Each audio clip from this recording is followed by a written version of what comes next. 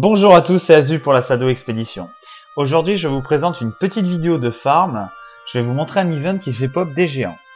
Comme vous le savez, dans GW, il y a des succès, et notamment le succès tueur de géants. Regardons ça. Dans la section des pourfendeurs, c'est souvent le moins avancé. En Thierry, deux géants sont connus et facilement trouvables. Un dans le plateau de Diessa, au point de passage de Najling. Il en existe un autre dans les interlaces d'Aratis. Cependant, ils sont tous deux gold et dépendent de chaînes d'event. Aujourd'hui, je vous montre un autre event qui fait apparaître des géants blancs. Je suis situé dans la map Terre sauvage de Brisbane, près du point de passage de Mirkriz. Dirigez-vous vers le sud-ouest. Vous rencontrez un PNJ, un golem cassé qui vous propose de lancer un event. Lançons-le et attendons les géants? Une escorte débute, nous allons nous avancer, le golem nous suit tranquillement. Des géants blancs, donc facilement tuables, vont pop à ce niveau.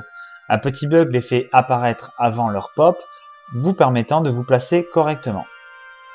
Et voilà, je viens d'avancer mon tueur de géant de 2 kills.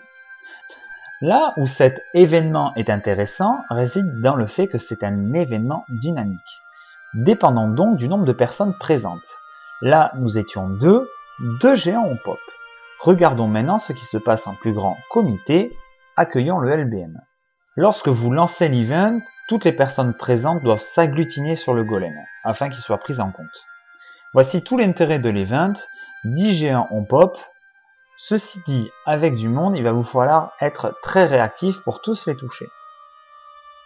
Cet event en question repop toutes les 15 minutes, que vous le validiez ou non. En solo, vous pouvez le faire, il est facile.